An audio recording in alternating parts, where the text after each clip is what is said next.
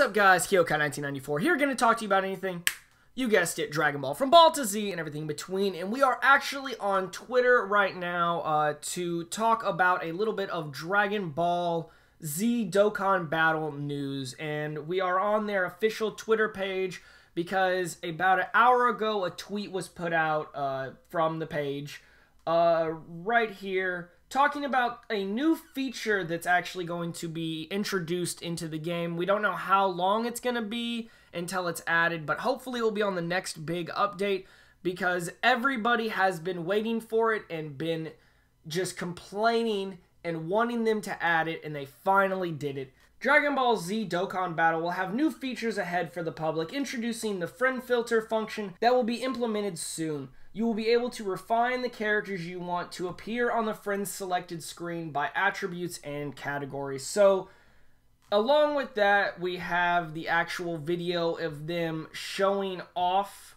the new feature that they will be adding. But this is amazing, and this is something that has definitely been wanted by the community, and this is leaps and bounds going to make the game better, uh, at least for myself personally. Now we can make sure we can run whatever teams we want and not feel restricted or, you know, kind of forced to wait like 15 to 20 minutes on just refresh, refresh, refresh, trying to find the one card you want so you can run your team the way you want it. And this is also awesome for content creators for the fact of now it's going to be a lot easier to find just any unit you want so you can do anything you want with any team instead of being stuck waiting again. Hitting refresh and refresh and refresh just to try to find that card. So this is awesome news and i hope that it's actually going to be coming soon so that i mean more people can hop back into the game. I know this is a major complaint and it's actually caused a lot of people to either stop playing the game or just get very frustrated trying to play through events or Super Battle Road or anything.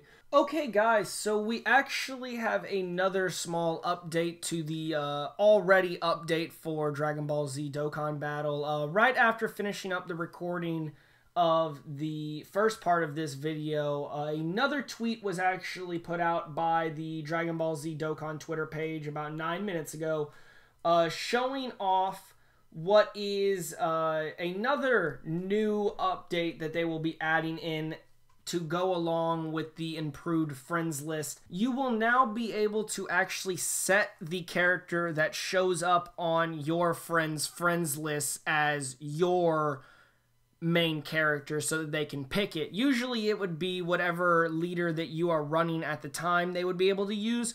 But uh, from the video right here, we're actually shown that you can swap out uh, for another character. In the video, they swap out Frieza for the EZA Gohan and basically show that, yeah, it uh, moves it, and now it is actually easier to set characters uh, for your friends to use and not be forced to have to use that team at the same time as them. So yeah, guys, that is the other update that we have. So we're going to hop back into the past to actually wrap up the video.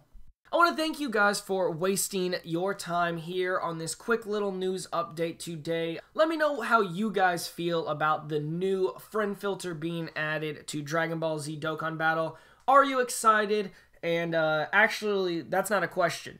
Tell me that you're excited down in the comment section below. And also let me know anything you guys would still want them to add to Dragon Ball Z Dokkan Battle in the future to make sure that the game has the most longevity it can have uh, in the community and on the market. If you guys enjoyed the news update, definitely make sure you are hitting the like button down there and letting me know.